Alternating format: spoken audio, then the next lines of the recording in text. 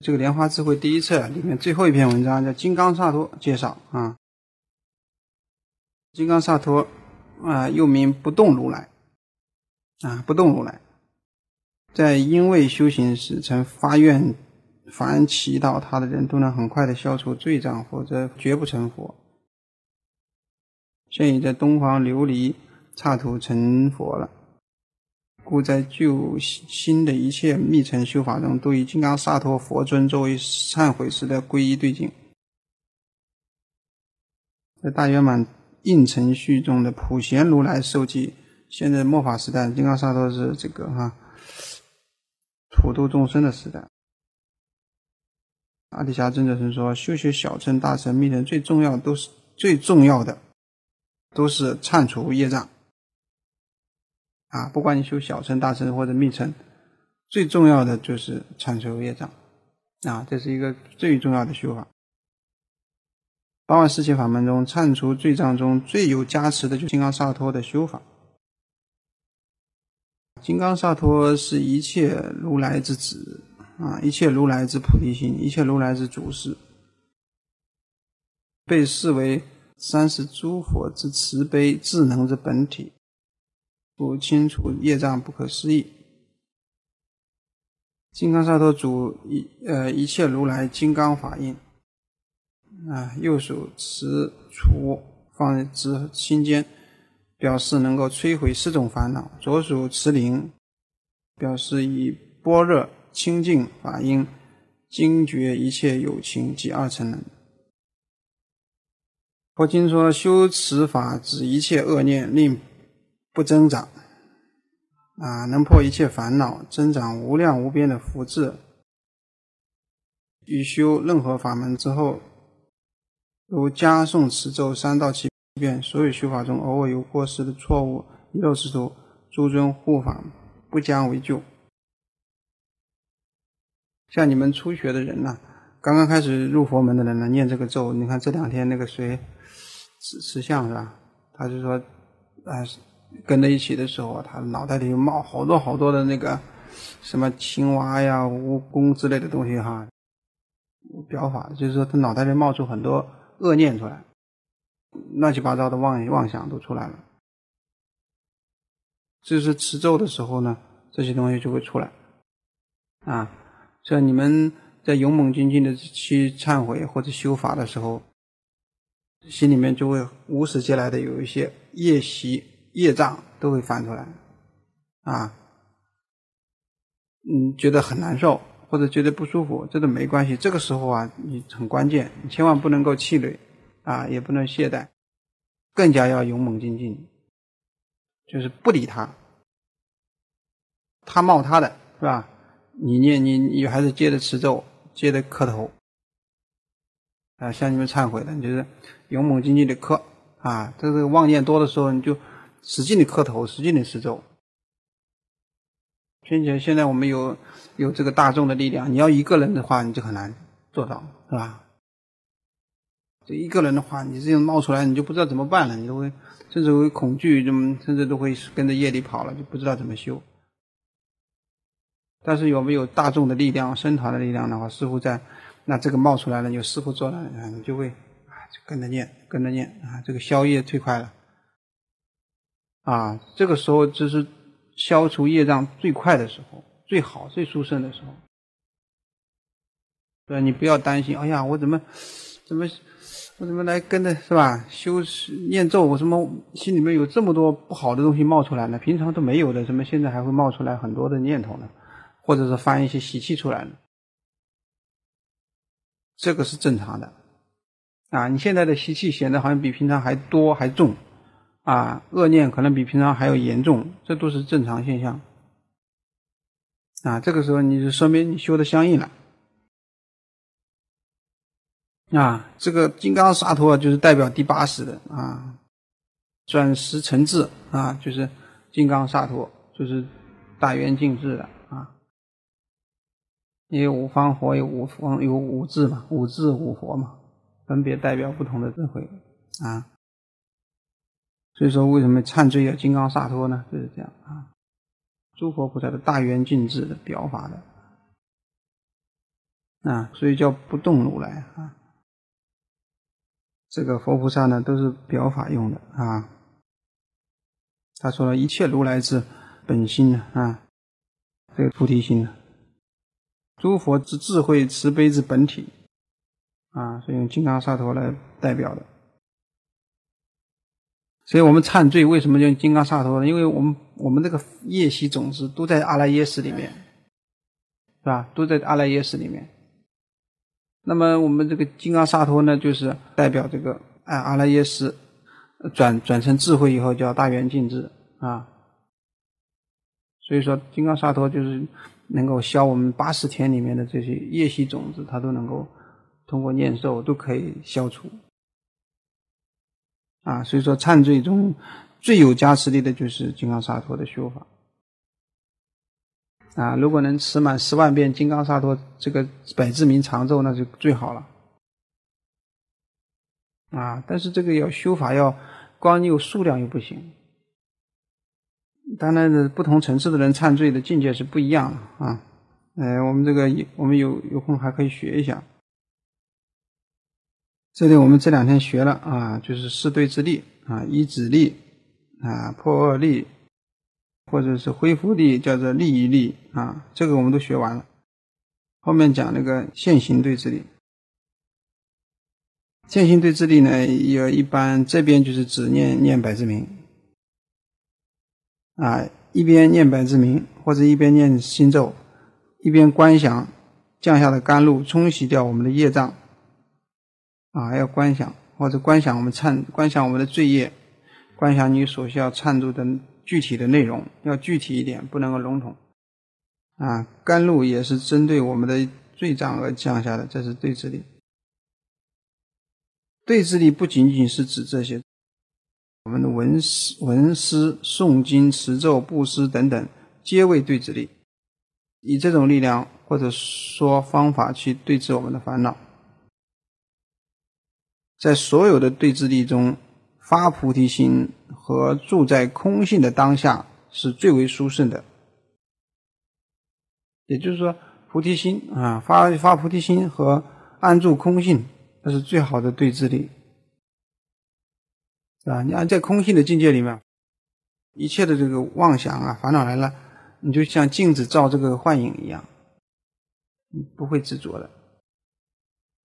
啊，我们的心就像明镜一样，镜子里面的一切显象都显现，显现镜像的时候呢，但是呢不动啊，如如不动，就是可以照来了就可以照。发菩提心哈，还有安住在空性当中是最为殊胜的对治。啊，为什么我们要天天要学发菩提心呢？天天要学空性慧啊，这个是一切对治当中最殊胜的对治。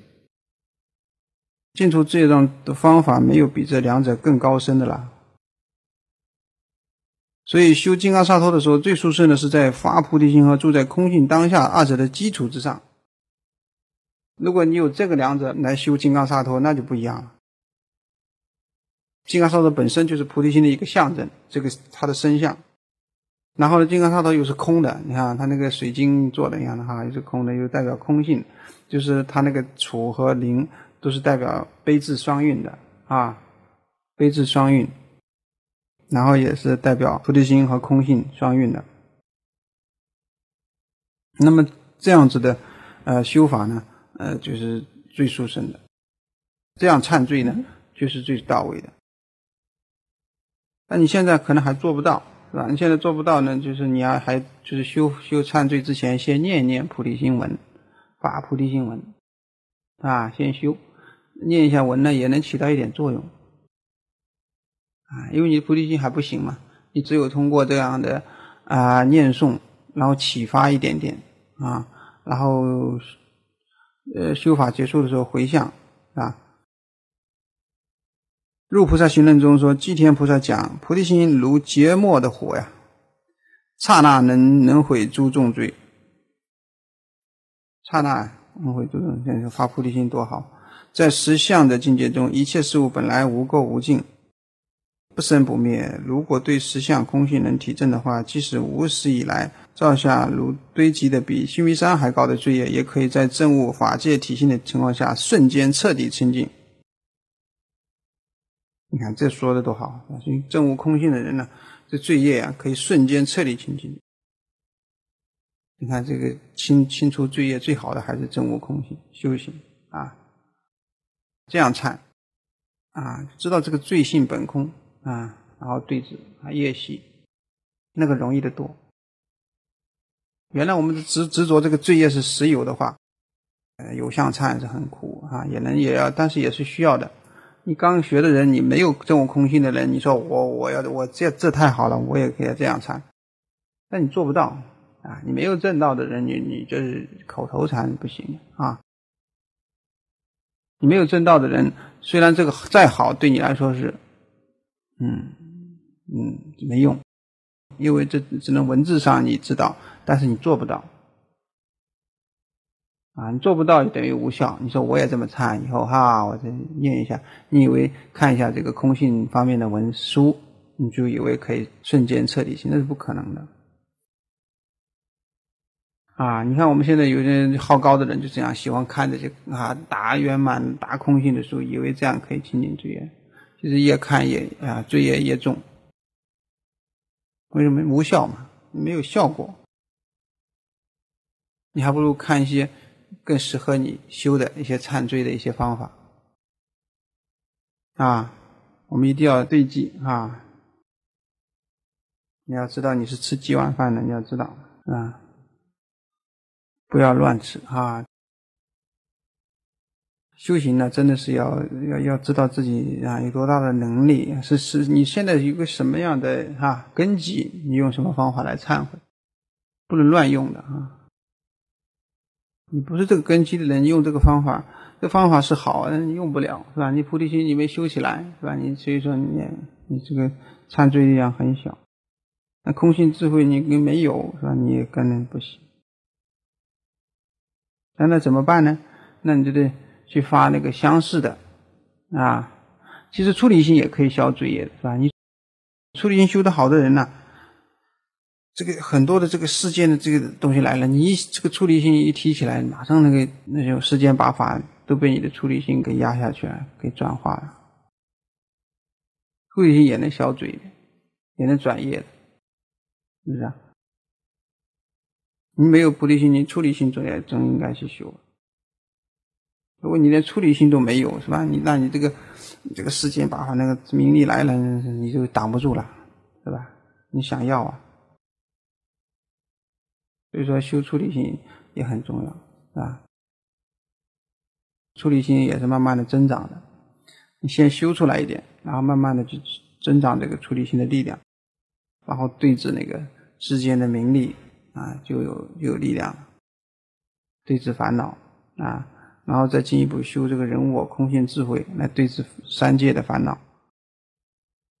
啊，现在我们先不要什么。什么什么明心见性的，什么大的空性智慧，你现在人我空性智慧有了，你对治三界之内的烦恼都啊都绰绰有余啊，啊，你何必要那么那么大的空性慧？不需要啊。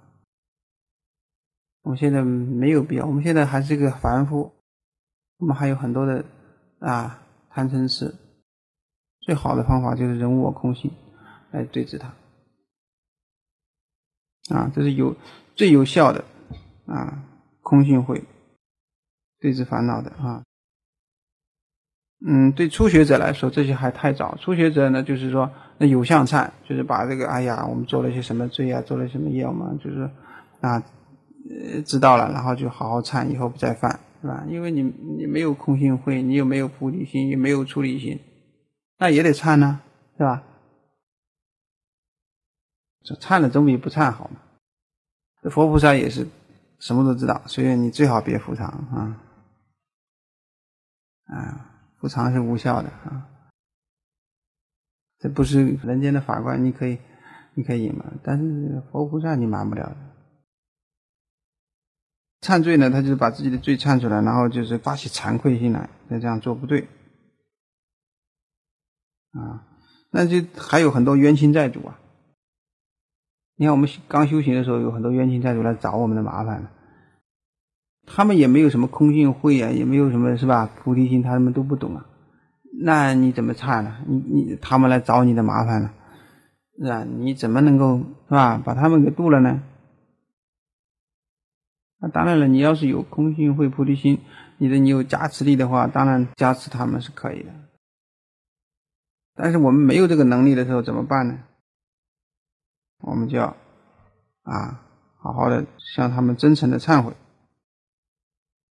啊，你自己没有能力的时候，你要冤亲债主来找你的麻烦，你又没有这个能力把他们超度，是吧？又没有能力，呃，去加持到他们，那你怎么办呢？那就忏悔。